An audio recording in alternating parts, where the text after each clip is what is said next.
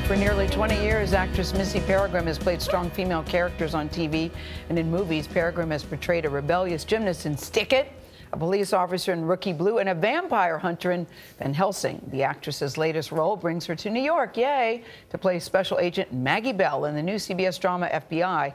In this, in this preview, rather, of tonight's premiere episode, Agent Bell interrogates a bombing suspect who's creepy. Wilmer, at some point, you and I are going to sit down and discuss exactly how you got involved with MS-13. Who jumped you in, what choices you had, everything, but not right I now. I told you that. Stop. We have you on camera. So take a deep breath and let go of any hope you have of talking your way out of this and tell me who gave you that bomb. Something tells me it's not going to end well for him. Missy Peregrym joins us at the table. Missy, we're glad you're here. But listen, right when she sat down, people out there, you told us the best news. Your sister's in labor. Labor right now. Yes. Is it her first baby? No, it's not. It's the third, but I was there for the second one, and so oh. I'm like, oh. oh. man. So I just well, keep FaceTiming them. That, that, that's big news, but this is news too. Yes. Because here you are, the lead lead person on the FBI show. It is very, very intense, and you are a badass on the show. Thank you. You are used to beating people up, taking names, and taking numbers. So how do you deal with the intensity of this role?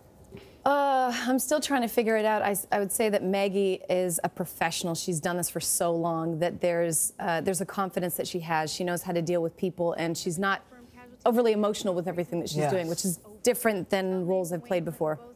And uh, that's kind of saving me with this, with not being too overwhelmed with everything. Because you said you have a passion for justice, which I, I do. Is, what does that mean? It means I like the truth and I want the right thing to be uh, done when something wrong has happened, and uh, I want people to be heard. I really think it's it's valuable and that their heart is seen. So, in all of these episodes, this is what we're dealing with. How do you go to badass training? Yeah, you're learning it. there you go. Not that you may not already be one yourself. Yeah, but... I might have started with a bad attitude when I was younger, and we just kind of matured a little bit. Yeah, right, exactly. Well, then the pathway of life. But I mean, on the F- what did the FBI agents you worked with tell you about how to do how to be yes, that person? Yeah. Uh, well I was pretty late to the project, and so uh, the other cast got to do some more stuff. But we have Dan the Man, as I've nicknamed him, on mm. set. He's an ex FBI agent, and he kind of takes us through how to do things. Um, more interrogation stuff and how you deal with people, which I find fascinating. There's tactics with that and how to get the truth. Um, and in terms of, you know, pulling a weapon and, and uh, all that other stuff.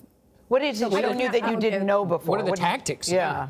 I'm not going to tell you that right now. This is my Why? superpower now. Oh, yeah. okay. We'll talk later. I, I like okay. that the show avoids politics and instead really focuses yeah. on the incredible work that the New York um, FBI does. Yes. And they really do. I mean, people, the FBI is such an incredible mm. organization about how they protect people. I mean, did you get a new appreciation from, from work that agents do every day? Yeah, I, I feel um, like I've always had a lot of respect for law enforcement because yeah. of that. I think it's a huge sacrifice to be going out um, and you have no idea what's going to happen to you. Mm-hmm. Uh, this in particular is different for me. I mean, I didn't even want to watch the news, no offense, mm. uh, mm-hmm. for yeah. two years because it was overwhelming for me. All yeah. the stuff that was happening, I was so afraid of, oh, this could happen to me and this could happen to me.